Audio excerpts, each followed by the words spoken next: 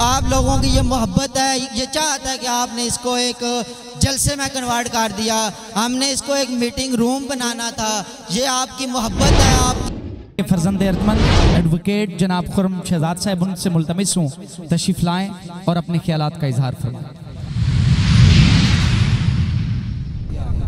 यकीन जान लें अब जो जिस हालात पे या जिस नगर पे हमारा मुल्क खड़ा है तो अब इस मुल्क की वाद उम्मीद जो है, वो मियाँ मोहम्मद नवाज़ शरीफ हैं।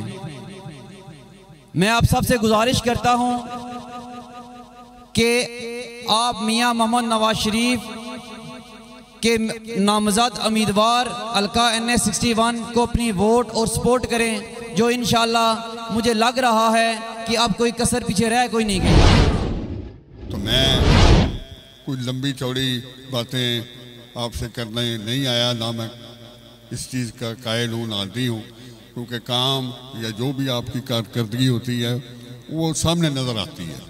तो मुझे